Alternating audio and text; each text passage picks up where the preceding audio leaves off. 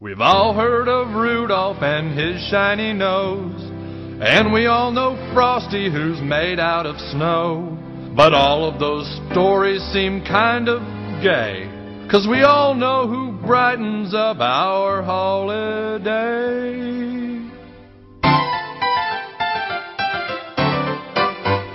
Mr. Hanky, the Christmas poo, small and brown, he comes from you. Sit on the toilet, here he comes, squeezing tween your festive buns. A present from down below, spreading joy with a howdy ho. He's seen the love inside of you, cause he's a piece of poo.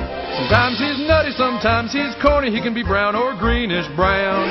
But if you eat fiber on Christmas Eve, he might come to your town. Mr. Hanky, the Christmas poo, he loves me, I love you, therefore vicariously he loves you. I can make a Mr. Hanky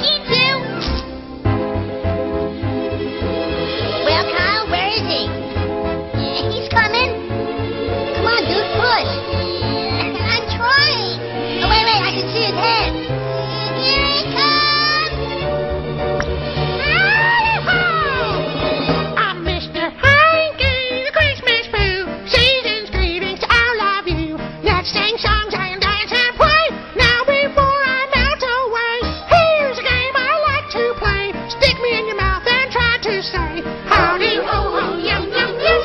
Christmas time has come. Sometimes he's runny. Sometimes he's firm. Sometimes he's practically water. Sometimes he hangs off the end of your ass and won't fall in the toilet, cause he's just clinging to your sphincter, and he won't drop off and so you shake your ass around, try to get it to drop in the toilet, and finally it does. Mr. Hanky, the Christmas boo, from Christmas leaves he must leave too. Flush